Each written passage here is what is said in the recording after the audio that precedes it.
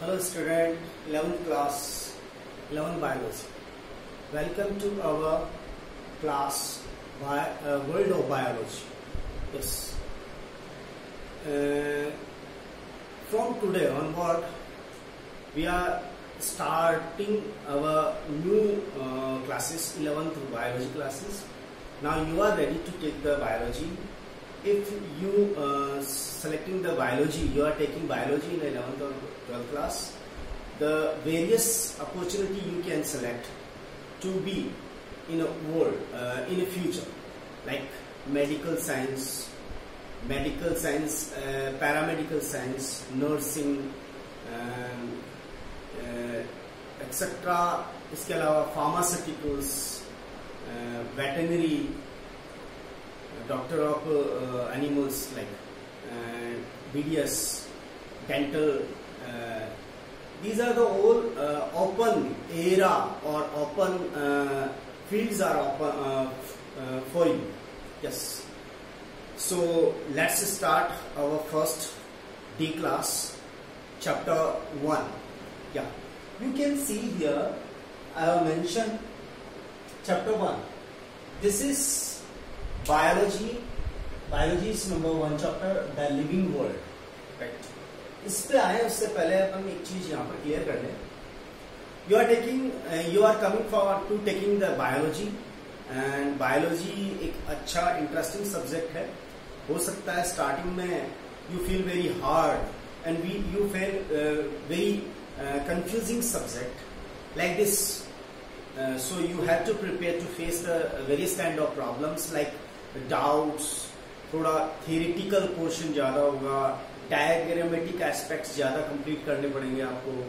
इसके अलावा तो मैं कुछ मेजर टिप्स लेता हूँ जिससे अपन बायोलॉजी को पढ़ते टाइम पर इसको और इजी और थोड़ा सा आउटगोइंग वाइस जो जिससे हम ज़्यादा एक्सप्रेस कर पाए उस हिसाब से करें। या बायोलॉजी में बहुत सी रूट वर्ड्स होते हैं। रूट वर्ड्स मीन्स कुछ टिपिकल वर्ड्स होते हैं। टेंथ क्लास में आपने पढ़ा है रूट वर्ड कौन कौन से होते हैं? Like pulmo cardio renal neural these are the root words by taking these root words, we can understand the things, what and which way we have to understand them, right? For example cardiology cardio means heart तो एक root word हो गया cardio cardiology एक root word में देखा जाए तो cardio एक हार्ट को क्या ठीक है आपने पढ़ा होगा study and geographical demonstration of heart and their function that call E C G electrocardiogram right तो यहाँ root word cardio means heart से pulmo means about lungs Neuro means about nervous system. Cyto means about cell or cytoplasma. And uh, uh, such other words also uh, we will face in biology. So welcome our new class. Welcome our new class, the world of biology. I am Mukesh Kumar Drona and your PCT biology teachers. Let's start our first chapter. Right the living world tenth class में आपने lump sum lump sum six chapter biology के पढ़े हैं उसी biology के chapters को basic ideology लेते हुए आपको इलेवंथ के इन टॉपिक्स को फेस करना है। इलेवंथ में वो सब कुछ आपको पढ़ना है जो आप पढ़ चुके हो बट आपको थोड़ा डिटेल्स वाइज वो स्टडी करना होगा। कोई दिक्कत नहीं। हम बायोलॉजी में उस सब्जेक्ट को इंजॉय करेंगे। मेरा मेन फंडा है to enjoy the bio world bio world हमारे सब्जेक्ट को जितना आप इंजॉय करोगे बायोलॉजी को जितना इंजॉय करोगे, वो उतना ही आपको बेस्ट एक्सक्यूशन बनाने के लिए एक्सक्यूजन करने के लिए बेसिकली एक्सक्यूट करने के लिए आपको और ज़्यादा इजी बनाता है स्मार्ट बनाता है राइट साइंस का मतलब स्मार्ट होता है बायोलॉजी का मतलब और स्मार्ट यानी कि और ज़्यादा most smart so living world living organisms these uh, living organisms are organisms that can express their growth reproduction, uh, uh, uh, basically against any uh, external or internal stimuli जो ये दे सकता है वो basically हम उसको living organisms मानेंगे। ये हम चैप्टर के अंदर कुछ टॉपिक्स मेंशन किए हुए हैं मैंने और ये टॉपिक्स मेंशन किए हैं जो हमें पढ़ने पड़ेंगे यहाँ पर। फ़र्स्ट बात करें introduction introduction what living organisms living organisms इस वर्ल्ड के अंदर जितने भी हैं उनकी एक बेसिक कैरेक्टरिस्टिक फीचर ज़रूर होगा। वो सब ग्रोथ करते हैं वो सेल डिवीज़न करते हैं वो आ, किसी भी एक्सटर्नल स्टिमुलाई के अगेंस्ट किसी न किसी तरह का रेस्पॉन्स क्रिएट करते हैं मेटाबॉलिज्म सारी केमिकल रिएक्शन वो क्रिएट करता है लाइक लैक प्रोसेस जिसको आपने टेंथ क्लास में पढ़ा है यानी वो सारा सब कुछ करेगा। ये केमिकल रिएक्शंस केमिकल्स में होने वाले प्रोसीजर्स हैं जिससे पुराने से नए और नयों से वापस उनके सिंपल केमिकल रिजल्ट्स क्रिएट होते हैं। एक्सक्रिएशन पढ़ा आपने डाइजेशन पढ़ा रिप्रोडक्शन पढ़ा ये एंडोक्राइनोलॉजी में एंडोक्राइन सिस्टम और उसके रिगार्डिंग फ़ंक्शंस पढ़े तो ये सब कुछ लिविंग ऑर्गेनिम्स का मेटाबॉलिज्म होता है राइट मेरे को यदि किसी भी तरह की स्टिमुलाई दी जाती है एक्सटर्नल किसी भी तरह का कोई भी चेंजेस जो मेरे को एक्शन का रिएक्शन करवाने में हेल्प करता है। लाइक रिफ्लैक्स एक्शन जिसको आपने टेंथ क्लास में पढ़ा है तो इस तरह का जो भी रेस्पोंड हम करते हैं, उसको हम कहते हैं कॉन्शियसनेस तो बेसिकली जो ये सब कुछ करता है वो इंट्रोडक्शन इंट्रोडक्शन में आ रहा है। Characteristics of life characteristics of life means the basic ideology by which we can understand the things which are living on which are non living right so living organisms कौन कौन से हैं? उनके बारे में करेक्टरिस्टिक फीचर्स हमें आगे पढ़ना पड़ेगा इसके बारे में। Diversity of life different shape, size and varieties of living organisms we can see surround us in world जो exist है जो variety है जो most varieties है उन सबकी जो phenomenon है that's called diversity of life इस world में डाइवर्सिटी वर्ड हम काम का वर्ड यूज़ कर सकते हैं लाइक like, हम यूज़ कर सकते हैं diversity basically in the sense diversity in atmosphere diversity ecology ecological aspects जहाँ हम रहते हैं, कहीं पर घने जंगल है, कहीं पर सी कोस्टल एरिया आ गया, कहीं पर रिवर कोस्टल एरिया आ गया, कहीं पर डिजर्ट आ गया तो ये जो वेराइटीज ऑफ़ क्लाइमेट और इकोलॉजी एटमोस्फियर देख सकते हो, वो बायोडाइवर्सिटी ऑफ़ इकोलॉजी हो गया। स्पीसीज लिविंग ऑर्गन्स में वेराइटीज है। अलग अलग स्पीसीज अलग अलग वेराइटीज जनरेट कर। बेसिकली मैं बात करूँ आपके different types tiger lion leopard ये डिफरेंट काइंड ऑफ़ जो स्पीसीज वाइज डिफर है तो इसलिए इनको बायोडाइवर्सिटी वर्ड स्पीसीज डाइवर्सिटी के अंदर ये लेंगे उसके बाद हमें पढ़ना पड़ेगा बायोनोमियल बायोनोमियल नोमेन क्लेशर हर एक लिविंग ऑर्गन्स को अच्छे से स्टडी करने के लिए, अच्छे से उसके बारे में वेल गोइंग करने के लिए, उसके बारे में इवोल्यूशनरी रिलेशनशिप क्या है, वो सब कुछ स्टडी करने के लिए हमें ज़रूरी है कि उसके बारे में हमें उसका नेम प्रोसेस करें। और स्पेसिफिक साइंटिफिक नेम उसको प्रोवाइड करवाएँ। वो स्पेसिफिक नेम जिसकी वजह से ऑल ओवर वर्ल्ड वो यूनिकली एनिमल या लिविंग ऑर्गेनिम्स या प्लांट्स वेल नोन हो। बेसिकली हम एग्जांपल इस बात से ले सकते हैं, अनियन। हिंदी में इसको प्याज कहते हैं। अलग अलग भाषाओं में अलग अलग लैंग्वेज में उसको अलग अलग तरह से नाम जाना जाता है। फॉर एग्ज़ाम्पल मैं राजस्थानी की बात करूँ तो उसे कांदा बोला जाता है। फॉर एग्ज़ाम्पल मैं लंदन में जाकर के किसी रेस्टोरेंट में कांदा मांगूँगा तो वो मेरे को कांदा नहीं, कोई और कुछ दे देगा। इसलिए यूनिकली यदि हम एज ए स्टूडेंट देखें तो as a student we have to we have to put specific name to organisms by which all world across across they known name वो एक अच्छे से नीम से जाने जाए। तो बायोनोमिन नॉमेनक्लेचर में एक साइंटिफिक नेम दिया जाता है, उसके टू पॉइंट्स होते हैं। दो नाम्स होते हैं generic epithet and specific epithet या बायोनोमिन नॉमेनक्लेचर में पढ़ सकते हैं। Need for nomenclature well learn करने के लिए स्पेसिफिक स्टडी करने के लिए इवोल्यूशनरी रिलेशन मालूम करने के लिए, उसके बारे में कैटेगरी बनाने के लिए, उसके ग्रुप बनाने के लिए हमें नॉमेनक्लेचर करने की ज़रूरत है नामिंग प्रोसेस देने की ज़रूरत है। ठीक है? क्लासिफिकेशन का मतलब होता है सिस्टमेटिक अरेंजमेंट जैसे क्लास के अंदर आप सिस्टमेटिकली बैठते हैं एक डिसिप्लिन मेंटेन करते हुए बैठते हैं तो बायोलॉजी में डिफरेंट लिविंग ऑर्गन्स हैं।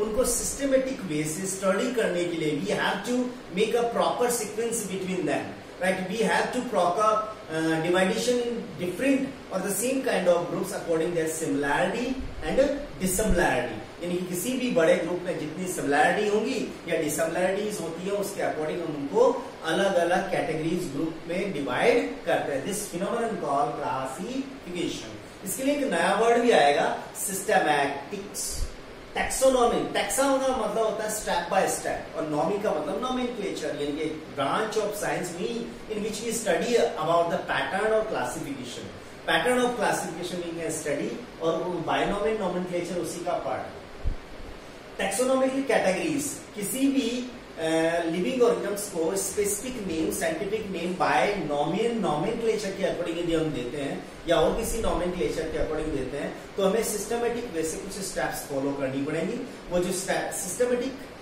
स्टेप्स फॉलो कर रहे हैं उसको टेक्सा कहते हैं और ये टेक्सा का जो सीक्वेंस होता है उसे टेक्सोनोमियल हेराइटी कहा जाता है species genus family order class phylum, division and kingdom.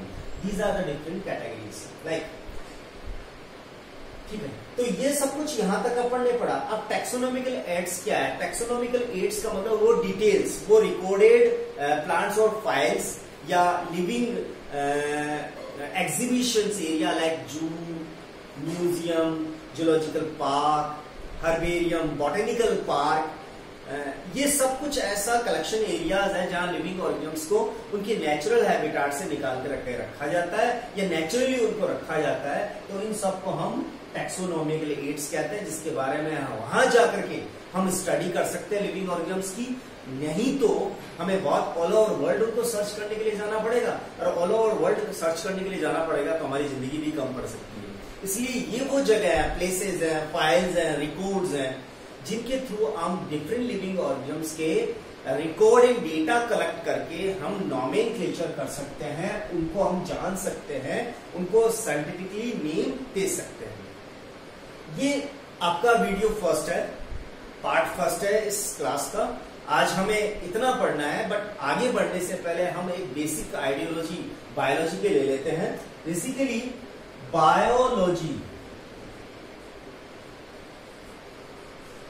कि एक रूट वर्ड है, जिसको हम फ्रिक्शन वाइज करें तो इसके दो अलग अलग फ्रिक्शन हो जाते हैं। Bio plus lodge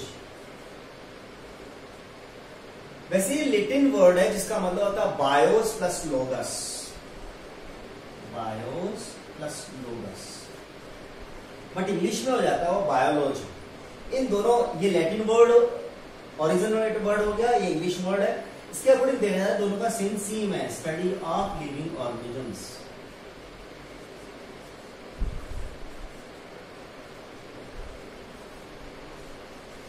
study of living organisms right तो इस तरह से हम बायोलॉजी की बात करें तो स्टडी ऑफ़ लिविंग ऑर्गेनिज्म जिससे सराउंड अस उनकी स्टडी करना बायोलॉजी कहलाता है। उसके बाद बात करें अपन बायोलॉजी की बेसिक ब्रांचेज है। बेसिक ब्रांच बायोलॉजी को दो बेसिक ब्रांच में डिवाइड किया जा सकता है। Botany and zoology botany means study of plants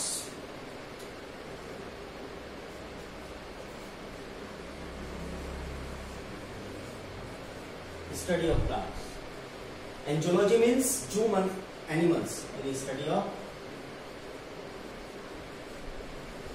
animals. Study of animals. So biology, study of living organisms. Biology have two basic branches. Botany, study about plants, means study of plants. Zoology means study of animals. आगे बढ़ाते हैं इस topic को ये basic topics तो रहने देते हैं अभी प्रॉपर वे में देखा जाए तो चैप्टर अपन ने स्टार्ट नहीं किया है इसका इंट्रोडक्शन वाला पोर्शन पढ़ रहे हैं जो फ़र्स्ट पॉइंट है अब कुछ बात करें डिवोटेड और ऑनर्ड साइंटिस्ट जिन्होंने स्टडी करी, बहुत ही रिकॉग्नाइज करने वाले वर्क और डिवोटेड वर्क किए हैं। उनको फादर वर्ड से जाना जाता है। तो फादर ऑफ़ बायोलॉजी ये फादर ऑफ़ बायोलॉजी है हमारे बायोलॉजी के अंदर Aristotle Aristotle father of biology Aristotle जैसे कि अपन ने बायोलॉजी के अंदर दो अलग अलग ब्रांचेस पढ़ी हैं। पहली, आगे आपकी बॉटनी और सेकंड आगे जूलॉजी तो father of botany father of botany ये आ गया Theophrastus Theophrastus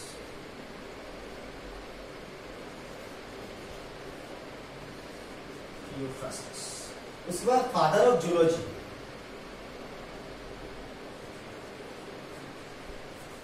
father of zoology ये फादर ऑफ़ जूलॉजी के अंदर आ जाते हैं अगेन अरिस्टोटल